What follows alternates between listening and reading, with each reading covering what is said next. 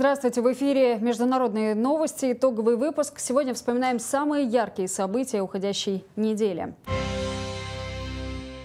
В Освенциме прошел традиционный ежегодный марш живых. В бывший лагерь смерти приехали более 15 тысяч человек из 40 стран мира. Жертва от первого лица. Дочь экс-президента Франции пожертвовала одежду отца в помощь беженцам. Мальчик с синдромом Дауна утешил Иисуса. Самое трогательное видео этой недели. На этой неделе Израиль отметил День катастрофы и героизма европейского еврейства. Это национальный день траура, учрежденный в Израиле в память о евреях, уничтоженных нацистами и приуроченный к дате восстания в Варшавском гетто. В этом году День катастрофы пришелся на период заката солнца в среду по вечер четверга. Памятные мероприятия прошли в музейно-исследовательском комплексе изучения Холокоста Яд Вашем, где в присутствии руководителей еврейского государства зажгли шесть факелов, символизирующих 6 миллионов евреев – они погибли в годы Второй мировой войны от рук нацистов и их пособников. Факелы зажгли шесть израильтян, уцелевших в Колокосте. Среди них Равин Мейерлау, восьмилетним мальчишкой, он был спасен в лагере Бухенвальд, узником из России Федором Михаличенко. Утром в четверг по всему Израилю прозвучала двухминутная поминальная сирена. На это время Израиль замер.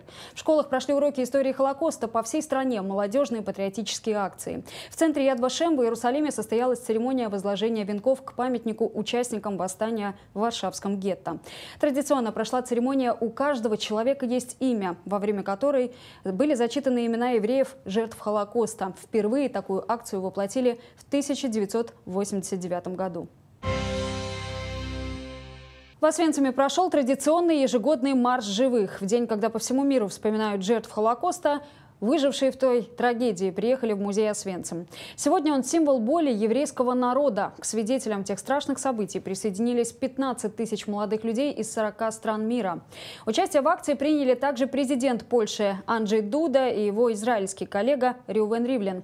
Израильский лидер в своем обращении к собравшимся подчеркнул, что евреи благодарны и чтят тех поляков, которые рисковали своими жизнями или даже отдали их ради спасения евреев.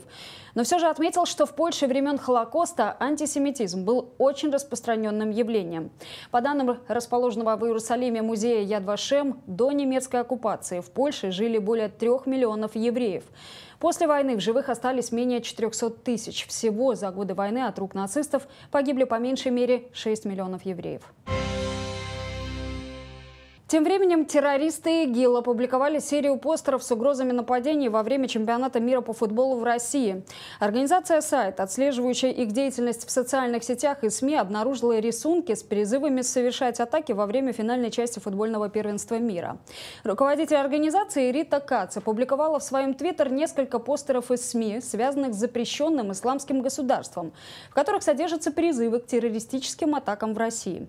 На постерах, которые публикуют западные таблоиды, Сторонники ИГИЛ изображены на фоне российских стадионов. Авторы рисунков называют президента России Владимира Путина неверным. Также публикуются угрозы суперзвездам мирового футбола аргентинцу Лионелю Месси и португальцу Криштиану Рональду. Потеря исламским государством территории в Ираке и Сирии не означает, что коллективные или одиночные атаки невозможны, считает Рита Кац. В центре Берлина построят храм, объединяющий в себе церковь, мечеть и синагогу. Об этом сообщает сайт проекта House of One. Согласно информации сайта, строительство объединенного храма начнется в 2019 году и по плану продлится два года. Здание будет возведено в самом сердце немецкой столицы, в Рыбацком острове. Основная идея проекта заключается в обмене идеями и мнениями между представителей различных религий.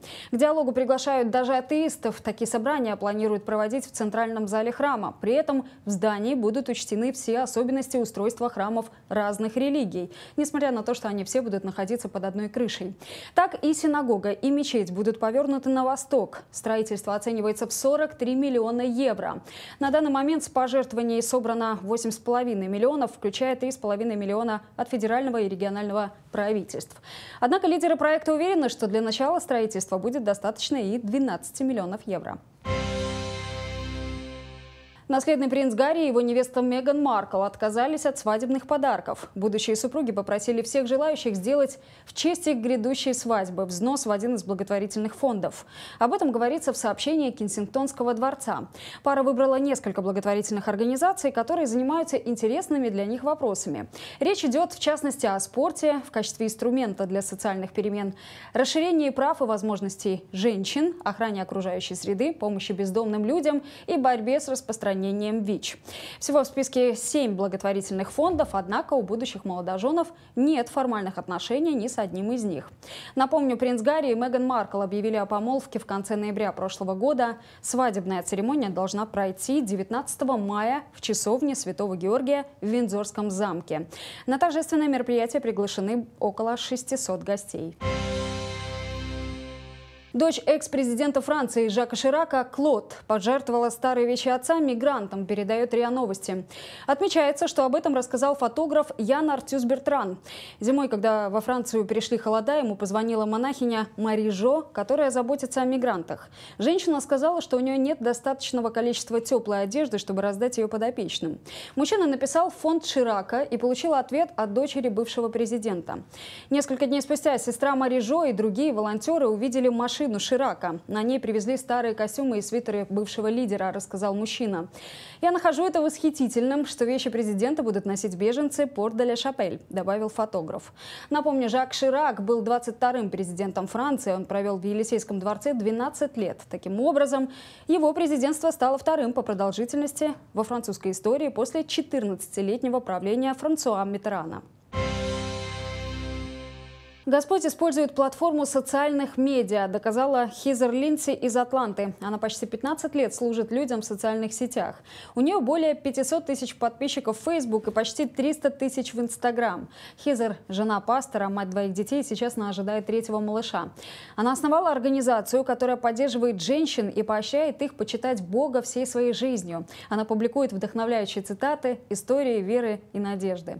Не так давно американка рассказала одну удивительную историю – Хизер ехала домой из магазина и услышала, как Святой Дух сказал, что одна девушка среди подписчиков собирается сделать аборт. «Я хочу, — сказал Дух Святой, — чтобы ты ободрила ее и сказала, что у Бога есть план для ее ребенка. Приехав домой, Хизер выложила несколько видео в защиту нерожденной жизни и начала молиться. Она обратилась к женщинам, если это не вы, молитесь, пожалуйста, за эту девушку, чтобы она не боялась и вышла со мной на связь.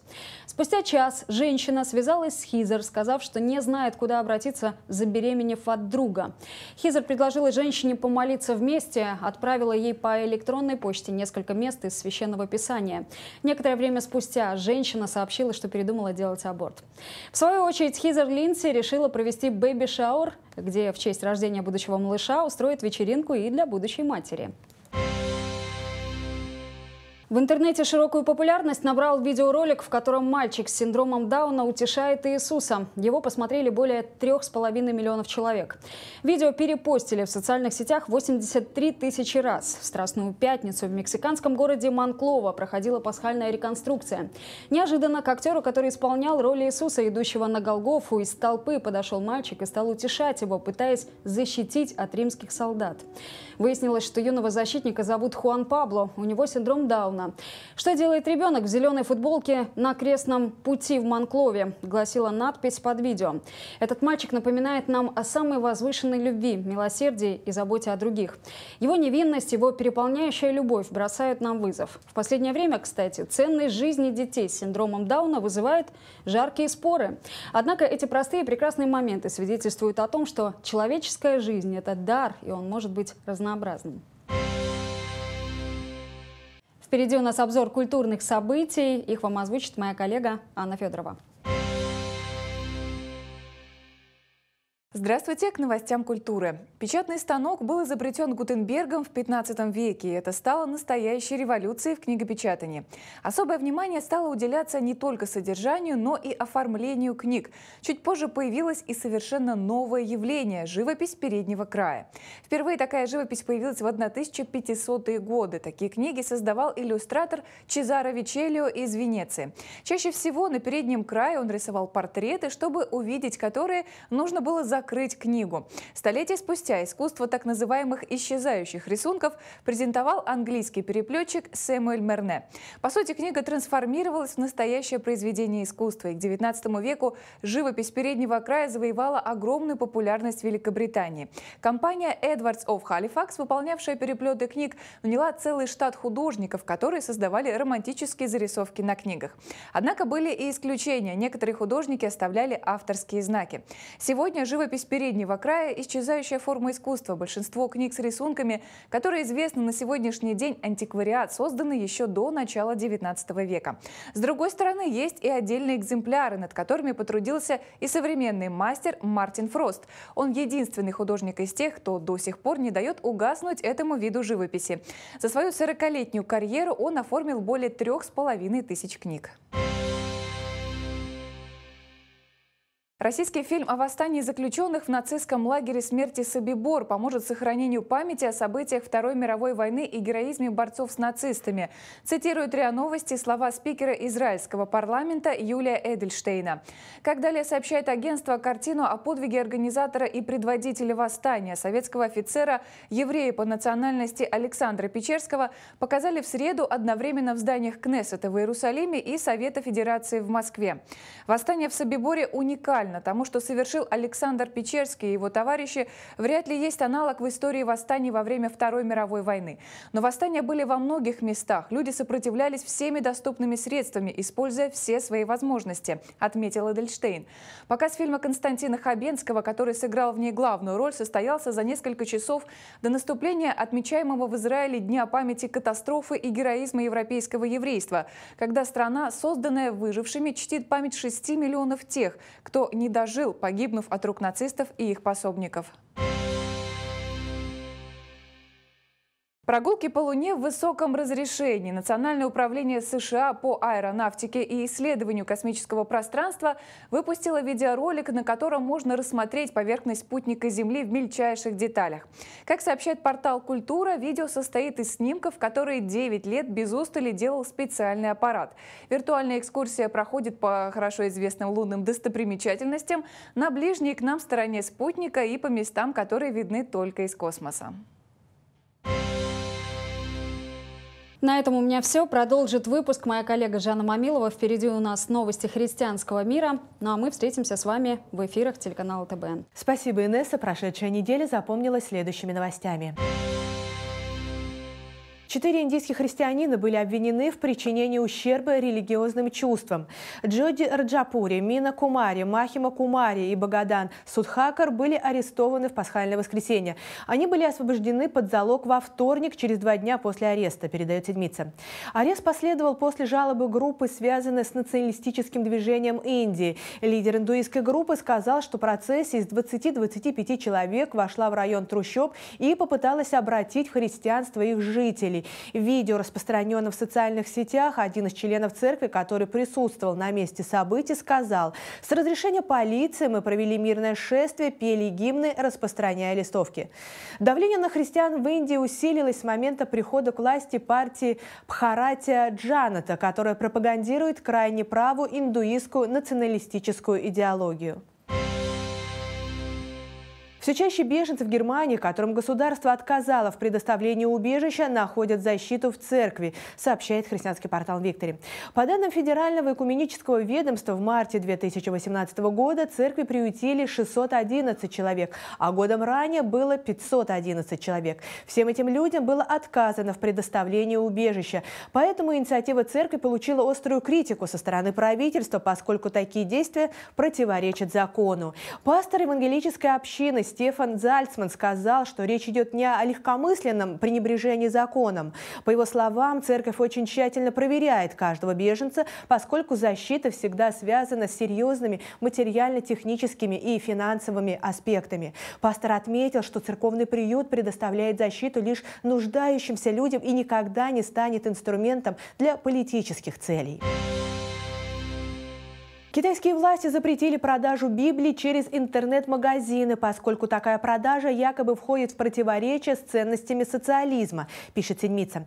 На днях опубликован программный документ о политике правительства под названием «Стратегия и методы правительства Китая по защите свободы вероисповедания». Но вскоре после его публикации экземпляры Евангелий стали исчезать из розничной торговой интернет-сети. В постановлении указывается, что религиозные общины в Китае должны строго соблюдать правила и места отправления религиозных обрядов, придерживаться главных ценностей социализма, развивать и расширять признанные китайские традиции и активно исследовать религиозные идеи в полном соответствии с национальными задачами Китая. Несмотря на заявления китайских властей о всяческой поддержке религиозных свобод, в действительности правительство годами ведет жестокую борьбу с подпольными молельными домами и христианскими проповедниками. И, в частности, проводит кампанию сноса сноса крестов с молельных сооружений. Причем кресты сносятся и создание официально разрешенных церквей. 69-летняя христианка, которая живет в пограничном районе Китая, готовит группу северокорейских новообращенных к возвращению в свою страну, чтобы делиться Евангелием. Несмотря на таинственную смерть 10 миссионеров и пасторов на линии фронта вдоль границы, сообщает христианский портал Виктори.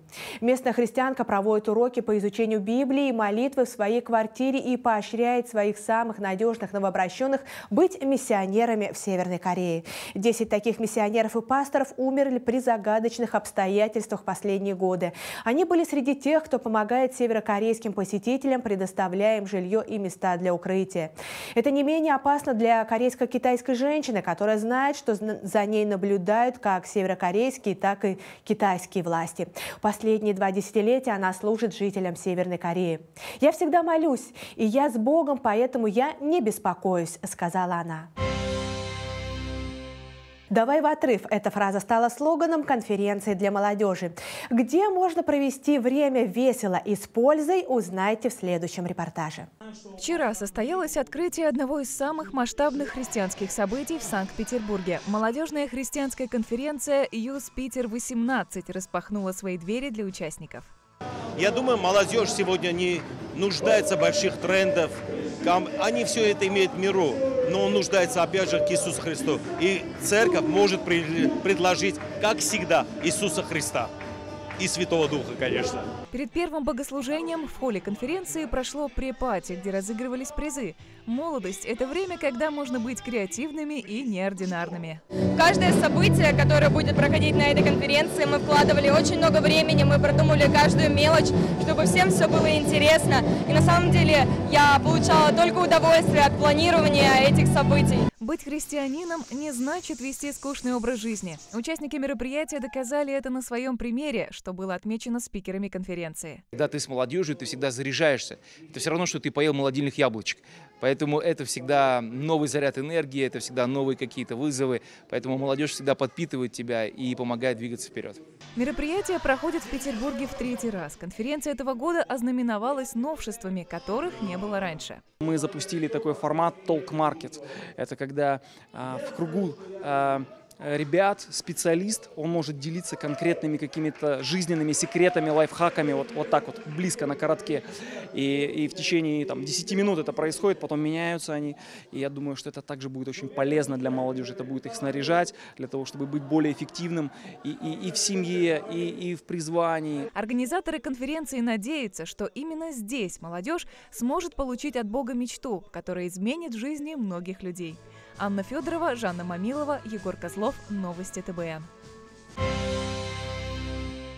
Омские евангельские христиане проведут конференцию, на которой расскажут о способах благовестия в тюрьмах в условиях современной действительности, сообщает Бухнюс.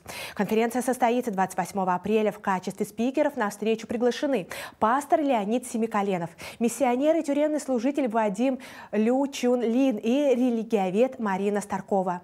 В июле 2016 года был принят законопроект, согласно которому проповедовать в исправительных учреждениях нельзя. Однако можно делиться собственным качественным свидетельством, но это разовая акция. Мы создаем общественные организации по ресоциализации заключенных и через это приобретаем заблудших для Христа. Церкви это дает возможность быть эффективной в тюремном служении, а заключенным узнать Христа и изменить свою жизнь, рассказал пастор Леонид Семиколенов.